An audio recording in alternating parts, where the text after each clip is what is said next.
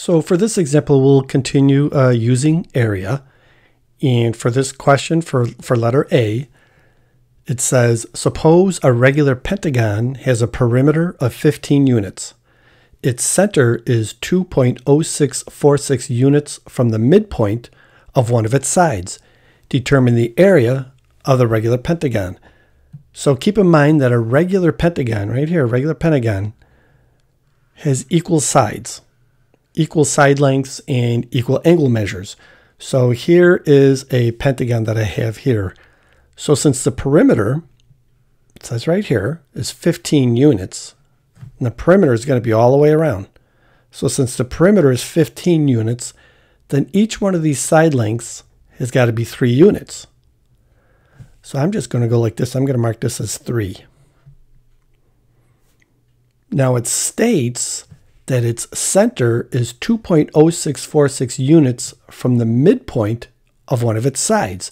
So it doesn't really matter which side, but if we took the midpoint, let's just put it here. If I took the midpoint, and if I took the same midpoint from here, and I took the same midpoint from here, then where all those midpoints would meet would have to be 2.0646 units, and that's where its center would be. Would probably be somewhere right around here. So this is what we're looking for. This is the 2.0646 units. Don't forget a unit of measure can be anything that you want. It can be centimeters, inches, miles. It's just some form of measure. So if this is 2.0646, then if we did something like this, and I went ahead and I connected to these vertices here, this forms a triangle inside the pentagon. And if I did that from the center to each vertex here, you can see that it's going to have five similar triangles. So if I could find the area of this one triangle here, then all I would have to do is multiply it by 5 and I'd have the area for the regular pentagon. So we'll do that. Now since this goes from the midpoint right to the center, this is the vertical height of this triangle that's formed. So I'm just going to mark this as 90 degrees. So this extension here is vertical to the side of the pentagon here. And of course it says that this height here, I'm just going to write it in right here, is 2.0646. So we'll find the area of this triangle. And the area of a triangle, that's equal to the base times its vertical height divided by 2, or in other words, the base times the height divided by 2. Well, the base here is 3.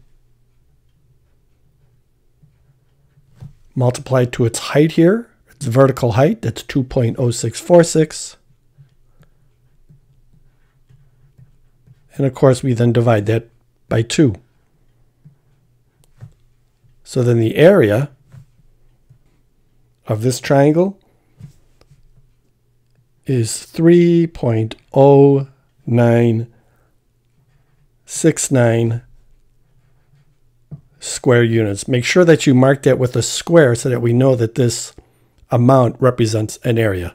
So this triangle right here is 3.0969 square units. So then to determine what it is for the entire pentagon, there's five of these triangles that make up the inside of the pentagon. So we'll do 5 times 3.0969 and that equals 15.4845 square units.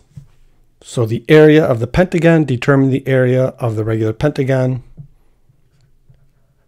15.4845 square units. Now for letter B, it says a five-pointed star consists of a regular pentagon with similar adjacent isosceles triangles attached to its edges. Suppose a star is constructed from the pentagon in A, that would be this pentagon here, in which the distance from the midpoint of one of the pentagon's sides to the opposite angle is 4.6165 units. Determine the area of the entire five-pointed star. So here is a five-pointed star. So keep in mind here is the original pentagon that we did in A. I just have it a little smaller so I can fit the star in there. But here's the pentagon. And we said that the base of this pentagon, or at least the, the length of one of its sides, is 3. Because the perimeter is 15. Here are the isosceles. These are isosceles triangles right here. What is an isosceles triangle? An isosceles triangle is where this, the two of the sides of the triangle are the same length. And of course, they're all similar, so we have five of the same isosceles triangles. So we're going to do the same idea that we did with the with the pentagon, is if we could find the area of one of these triangles, all we have to do is multiply it by 5, and we have the area for all five of them. So again, it says the distance from the midpoint of one of the pentagon's sides to the opposite angle is 4.6165 units. So if we come right here since it's a midpoint and it's going right to the opposite angle here, then this is going to be its vertical height. So I'm going to mark this at 90 degrees. I'm going to put that in there like that. So again, we wind up using the area to determine the area for a triangle. So we have the base again. That's three units. We have a height here. I'm going to pen it in right here. The height is 4.6165. So we now have a height, a vertical height of 4.6165 divided by 2. And that comes out to be 6.92 for 8. And again, don't forget square units. So that's the area of one of these triangles. Again, since there's five of them, we'll take this amount and multiply it by 5. 9, 2, 4, 8. And this is going to come out to be 34.624 square units.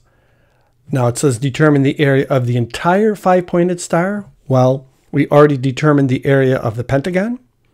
That's 15.4845 square units. We now have the area of all five of the of the uh, points here of this of the star. That's 34.624. So all we have to do is add those two together. 15.4845. Add that to the 34.624. And that's going to come out to be 50.1085.